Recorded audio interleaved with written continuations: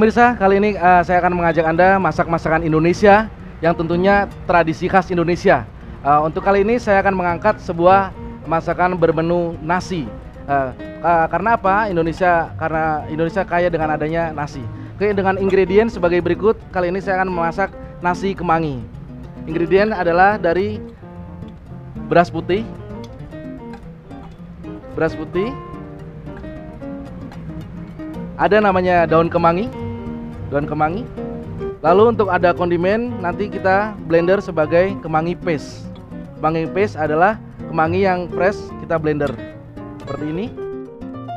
Untuk menimbulkan rasa gurih kita akan pakai ayam yang banyak di pasaran adalah ayam tanpa tulang seperti ini. Untuk seasoning atau pembumbuan ada garam. Garam. Terus untuk memantapkan rasa ada bumbu uh, bumbu rasa dan ada yang namanya santan, fresh santan. Baik, itu adalah uh, kondimen dari nasi kemangi karena menu, menu ini kita akan kita highlight di Gaya Cosmo Hotel Benar. yang ada sekarang ini. Ya. Untuk mulai step pertama adalah kita panaskan wajan atau sospen. Oke, saya akan dibantu dengan asisten saya Mas Woto. Halo. Udah nyala mas apinya? Udah. Pakai api sedang aja dulu, Chef. Kita akan pakai api sedang. Okay. Pertama adalah panaskan minyak.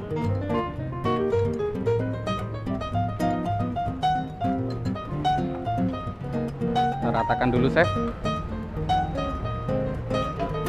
Sambil menunggu panasnya minyak, kita harus mem, uh, mix atau memblender.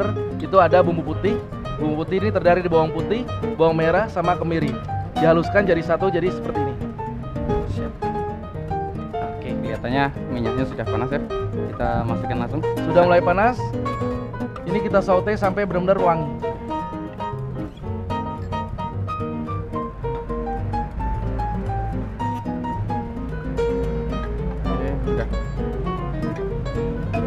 Kenapa saya mengangkat nasi kemangi? Karena kemangi itu uh, antioksidan ataupun antibakterinya nah. sangat tinggi. Jadi uh, alangkah baiknya buat yang di rumah ataupun yang uh, sedang uh, di perjalanan bisa mendengarkan kami uh, atau melihat kami uh, nanti bisa praktek di rumah langsung karena ini sangat mudah yeah. dan bahan-bahannya pun cukup uh, banyak di pasaran. In lausnya? Ini ada laos atau galangal. Satu ruas aja cukup barengan semuanya. Ada kondimen pendamping, ini ada serai. Serai kita masukkan, serai yang sudah dimemarkan. Ada daun jeruk. Sama daun salam. Ini jadi bumbu Indonesia banget. Jadi bisa bisa di rumah bisa siapa aja bisa pasti bisa bikin.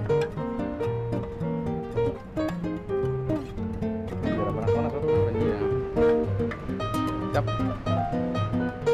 lagi santan Oke, sudah harum, Chef. Tumis hingga wangi, lalu kita masukkan santan fresh.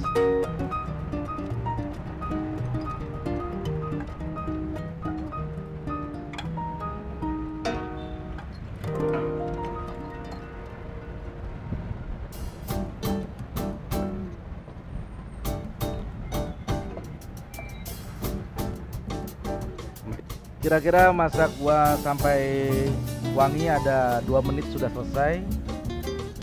Dan kita kemangi yang fresh kita haluskan jadinya seperti ini, kita campurkan ke dalam bumbu basic.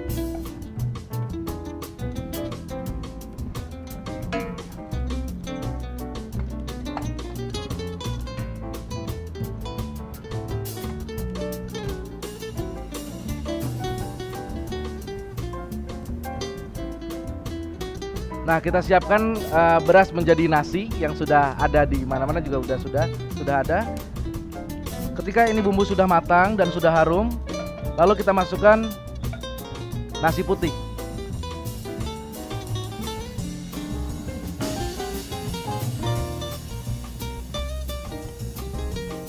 Kita takar secukupnya.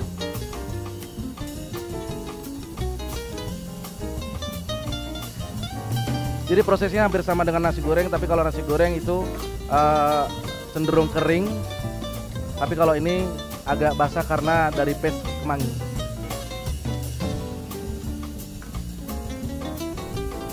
Mixing campur uh, sampai dengan rata.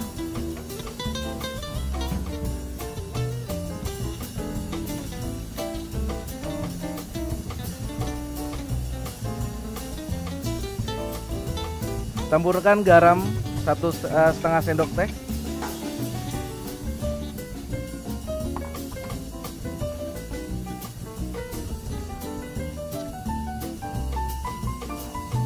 Dan setengah sendok teh bumbu penyedap rasa.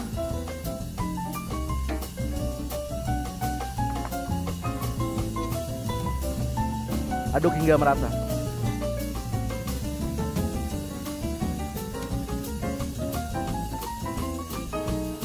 Untuk selanjutnya kita buat yang dari ini ayam mentah menjadi ayam kuning seperti ini. Masaknya uh, gampang sekali karena dari bumbu putih sudah ada tinggal dicampur dengan tambahkan kunyit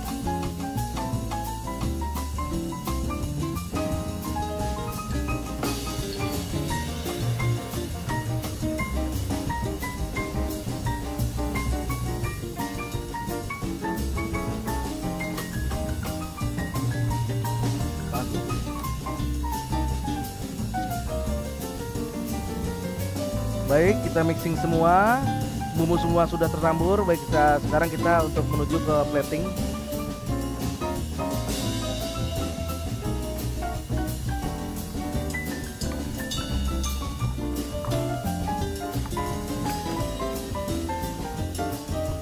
Untuk plating nasi kemangi untuk di Gaya Cosmo Hotel ini saya menggunakan uh, kettle ya, kettle yang unik karena kettle ini terbuat dari besi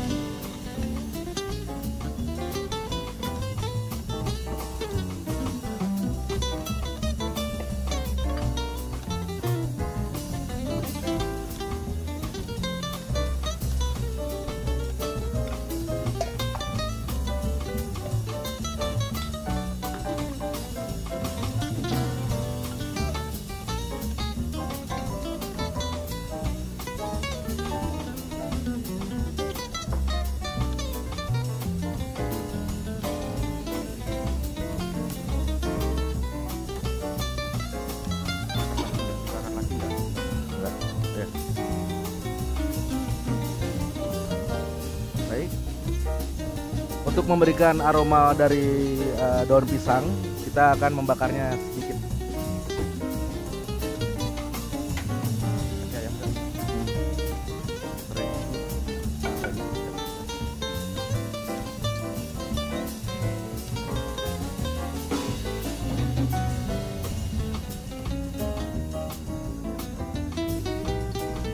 Tambahkan kemangi fresh biar aromanya dapat.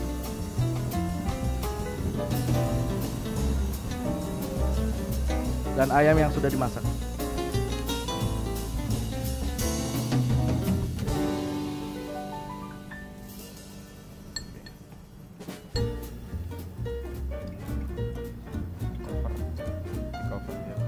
Lalu kita tutup.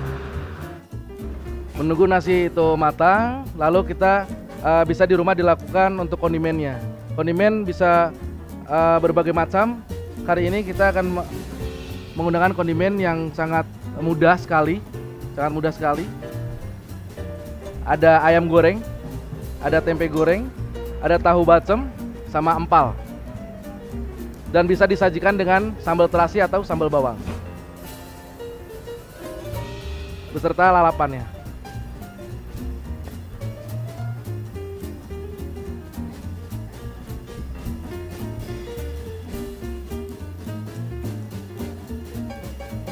Baik, inilah sajian untuk nasi kemangi ala gaya Cosmo Hotel.